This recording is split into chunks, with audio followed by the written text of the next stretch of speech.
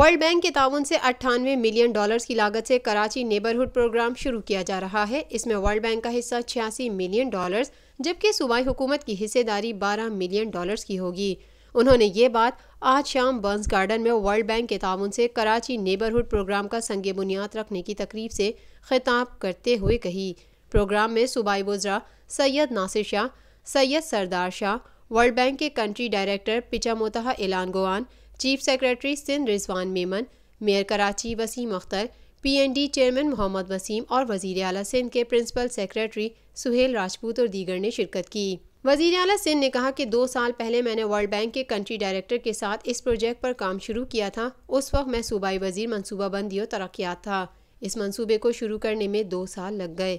मैं समझ रहा था कि सिंध हुकूमत में ब्यूरोक्रेट रुकावटें हैं, लेकिन वर्ल्ड बैंक ज़्यादा ब्यूरोक्रेट रुकावटों का शिकार है। लेकिन मैंने और वर्ल्ड बैंक ने मिलकर काम किया। ये प्रोजेक्ट दस माह फंड्स होने के बावजूद तखिर का शिकार हुआ। इस पर मैं खुश नहीं हूँ। उन्होंने कहा कि कराची के लोग हम पर एतबार करते हैं। हम बेहतर और जल्द काम करेंगे तो कराची के लोग हम पर मज़ीद एतबार करेंगे। मैं सिविल इंजीनियर हूँ। अगर मैं सब मैरिन चौरंगी अंडरपास का प्रोजेक्ट डायरेक्टर होता तो उसको दो माह में मुकम्मल कर लेता। मगर वहाँ पर सुस्त रवि से काम हो रहा है। काम होता हुआ नज़र आता है। अगर आप अभी चले जाएँ, मैं फिर वसीम साहब बैठे इनको मेरा ख्याल है हफ़्ते में दो तीन बार तो तंग करता हूँ इस चीज़ पे, जो यहाँ पे सनसेट बुलावर्ड पे काम चल रहा है, जो अंडरपास पे काम हो रहा है। मैंने तो इनसे कहा था और मैं अभी भी, अगर मैं चीफ मिनिस्टर नहीं होता और मैं उसका, इसलिए वो भी मेरी क्वालिफिकेशन है सिविल इंजीनियर हूँ, मैं उसका प्रोजेक्ट डायरेक्टर होता तो वो मैं दो महीने में आपको ब्रिज बना के दिखाता।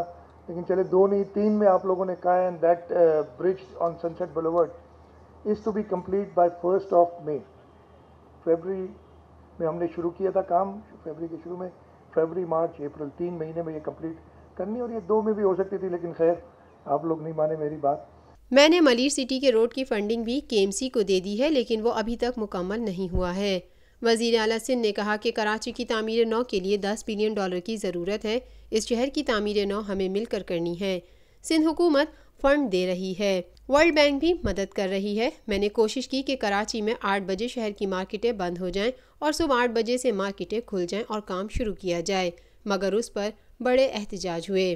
वज़ीर अला सिंध सैयद मुराद अली शाह ने कहा कि सिंध हुकूमत कराची को मजीद बेहतर सरसब्स और एक लचकदार मेट्रोपॉलिटन शहर बनाने के लिए कोशा है, जिसके लिए कराची ट्रांसफॉर्मेशन स्ट्रेटजी के अपनाई जा रही है, जिसका मकसद फ़िज़िकल और समाजी और माशी इंफ्रास्ट्रक्चर को बेहतर बनाना और पानी की फरहमी और सफ़ाई। ट्रांसपोर्टेशन, अर्बन स्पेस की डिलीवरी सर्विसेज़ और इदारों के इसकाम और ट्रांसफॉर्मेशन को बेहतर बनाना है। उन्होंने कहा कि वर्ल्ड बैंक ने खुद को कराची ट्रांसफॉर्मेशन स्ट्रेटजी के में इंगेज किया है, जिसके तहत वो सिंध हुकूमत के वर्जन के हवाले से ताउन कर रहे हैं और एक जामिया कराची सिटी डायग्नोस्टिक के प्रोग्राम शुरू किया है। के के तहत शहर की मीशत, रहने के हवाले से एक जामिया डेटा जमा करना है और शहरी इंफ्रास्ट्रक्चर कराची मेट्रोपॉलिटन रीजन को दरपेश चैलेंजेस और मौाक़ों की फरहमी और मेट्रोपॉलिटन रीजन की माशी कुत को बेहतर बनाना है। शहर को पॉलिसी रिफॉर्म्स इदारती गवर्नेंस और इंफ्रास्ट्रक्चर ज़रूरियात के हवाले से शहर को दरपेश चैलेंजेस की रोशनी में सूबाई हुकूमत और वर्ल्ड बैंक ने दो तरफा नुक़ नज़र शुरू करने पर आमाद की ज़ाहिर की है। फ़र्स्ट ट्रैक के तहत बैंक क्विक वंस ऑपरेशन के हवाले से ताउन कर रहा है, जिसके तहत कराची नेबरहुड इम्प्रूवमेंट प्रोजेक्ट शुरू किया जा रहा है। इन असलाहत के ज़रिए तरजीही एरियाज़ मसन जामिया कारोबारी माहौल का क़्याम सिटी गवर्नेंस और म्यूनसिपल सर्विस डिलीवरी की बेहतरी, पानी की फरहमी और सफ़ाई की सूरत हाल को बेहतर बनाना शामिल है। और इसके साथ साथ कराची शहर में गलियों पार्कस शहर की चौरंगियों और पैदल चलने वाले इलाकों को तहफ़ देना और उन्हें बेहतर बनाना शामिल है। इस प्रोजेक्ट के तहत सदर मलिक के इलाकों में सड़कों की तमीर, ड्रेनेज सिस्टम की बहाली, पैदल चलने वालों के लिए bridge, road line, cycle walking के लिए अलग रोड तामीर किए जाएँगे। इस प्रोजेक्ट में एजुकेशन और कल्चर जोन मार्क किए गए हैं। इसमें डॉक्टर ज़ियाउद्दीन रोड ता शाहीन कॉम्प्लेक्स ता पाकिस्तान चौक, दीन मोहम्मद विफाई रोड से आर्ट्स काउंसिल ता पाकिस्तान चौक और एम आर कियानी रोड से शाहीन कॉम्प्लेक्स ता फवारा चौक, आर्ट्स काउंसिल चौक, शाहरा कमाल अतातुर्क से सिंध सेक्रेटेरिएट गेट से डीजे साइंस कॉलेज तक शामिल है। इस प्रोजेक्ट का एक हिस्सा कोरंगी नेबरहुड मोबिलिटी इम्प्रूवमेंट्स का है।